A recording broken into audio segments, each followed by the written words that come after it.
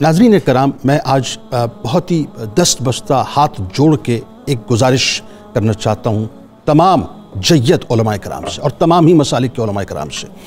छोटा मुँह और बड़ी बात हो जाएगी, लेकिन एक तालब इल्म की हैसियत से, एक तिफल मकतब की हैसियत से मेरी बात को सुन भी लीजिएगा, कबूल भी कर लीजिएगा। और माफ़ कर दीजिएगा कि अगर कहीं खुदा न खासा मैं अपनी डोमेन से बाहर जाके कोई अगर बात कर रहा हूँ, और ये मैं सिर्फ़ कराम से बात करना चाहता हूँ। सियासतदानों से तो मुझे कोई उम्मीद, किसी किस्म की कोई उम्मीद नहीं है। नहीं। किसी किस्म की कोई उम्मीद नहीं है। वल्लाह मैं आपको बताऊँ कि उम्मीद के सारे दरवाजे मैंने पाकिस्तानी सियासतदानों के ऊपर तो जो है, वो अपने तई मुकम्मल तौर पर बंद कर लिए कि जिनको आज भी आज भी, इस सिचुएशन में भी, इस वक्त भी, इस लम्हा मौजूद में भी, कि जिस लम्हा मौजूद में मुस्तकिल वहाँ से ख़बरें आ रही हैं और ऐसा नहीं है कोई हम गाँव गोठ में रहते हैं कि जहाँ पर वाईफाई ना हो इंटरनेट ना हो इलेक्ट्रॉनिक मीडिया ना हो सोशल मीडिया ना हो, यानी लम्हा ब लम्हा वहाँ से ख़बरें आ रही हैं कि एक, यूँ कहिए कि अपने ताकत की जुनून के अंदर और जुनून की इंतहा के अंदर इसराइल ने वहाँ पर सब कुछ वैनिश करने की ठान भी ली और वो वैनिश कर रहा है। हज़ारों शहादतें हो चुकी हैं, हो चुकी हैं, इसमें कोई दूसरी राय नहीं है।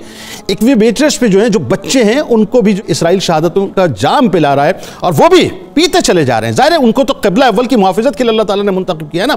एक आने वाले बच्चे को जो कि अभी दुनिया में आके चंद साँसें ले रहा है, उसको भी अल्लाह तबारक ताला ने जो है, उस कबील का मुजाहिद बनाया है, जो कबला अव्वल के मुजाहिदीन है, मुहाफिजीन है बुनियादी तौर पर। बड़े नाम है साहब। इनके किरदार बहुत ऊँचे हैं, इनके नाम बहुत बड़े हैं। इनको अल्लाह तबारक ताला ने बहुत बड़े मकसद के लिए बनाया है। मेरे आपके जो सियासतदान और लीडर्स हैं, वो इस मकसद के लिए कि आओ खेलो कुर्सी कुर्सी। आओ खेलें कुर्सी कुर्सी। तुम्हारी कुर्सी, मेरी कुर्सी, तुम्हारी हुकूमत, मेरी हुकूमत, ये हुकूमत, वो हुकूमत, ये कुर्सी, वो कुर्सी, ये ये सीट वो सीट ये ये प्रोविंशियल असेंबली ये नेशनल असेंबली ये पार्लियामेंट इसी चक्कर के अंदर लगे हुए हैं साहब। इसी मर जाएँगे इस चक्कर के अंदर। यानी मुँह से अब झाग निकलता है एक दूसरे की दुश्मनियों के लिए और एक दूसरे की नफरतों में। इतनी बात जो है समझ नहीं आती कि कल बरोज़ मैशर अल्लाह तबारक ताली जो है इस बात पर सवाल कर लेगा कि सब कुछ था तुम्हारे पास, ताकत थी, लेकिन तुम जो है सिर्फ़ और सिर्फ़ अपनी ताकत और कुर्सी के नशे के अंदर बदमस्त हुए हुए थे। तो इनसे तो मुझे कोई उम्मीद नहीं। है हाँ मैं कराम से बहुत ही अदब के साथ गुजारिश करना चाहता हूँ। तमाम ही मसाले के, तमाम ही मेरे लिए काबिल एहतराम है साहब। सभी मेरे लिए काबिल एहतराम है। आप लोगों की आवाज़ जो है, वो सिंक्रोनाइज क्यों नहीं होती?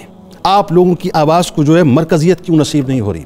आप एक मरकज़ पे आके क्यों नहीं खड़े हो रहे? ये कबला अव्वल किसी के मसलक का नहीं है साहब। ये कबला अव्वल किसी फ़िरक़े का नहीं है साहब। ये कबला अव्वल जो है किसी किसी एक मौलवी का, किसी एक आलिम दीन का नहीं है साहब। ये कबला अव्वल किसी एक स्कूल ऑफ़ थाट के पैरोकारों का नहीं है साहब। ये कबला अव्वल सिर्फ़ पाकिस्तानियों का नहीं है साहब। ये कबला अव्वल जो है सिर्फ़ हिंदुस्तानियों का नहीं है साहब। ये कबला अव्वल जो है सिर्फ़ सऊदिया के लोगों का नहीं है साहब। ये कबला अव्वल दुनिया के तमाम मुसलमानों का है। दो अरब मुसलमानों का है, दो अरब मुसलमानों का है। ये कबला अव्वल वो है जिसकी तरफ़ सरकार मदीना सल्लल्लाहु अलैहि वसल्लम ने कमोबेश सत्रह महीने तक अपने रुख अनवर को करके नमाज़ अदा की है। यह कबला अव्वल वो है। आज हमारी आवाज़ मुस्तकम क्यों नहीं है? मिलकर क्यों नहीं बैठते इस मसले के ऊपर और बैठ के किसी एक वर्डिक को देख के पूरी कौम की जो है वो रहनुमाई क्यों नहीं फरमाते? क्यों नहीं बतलाते पूरी कौम को कि हमें बुनियादी तौर पर करना क्या चाहिए? लोग बेचारे इस वक्त कसमसा रहे रो रहे हैं, तड़प रहे हैं, खून के आँसू रो रहे हैं, परेशान है।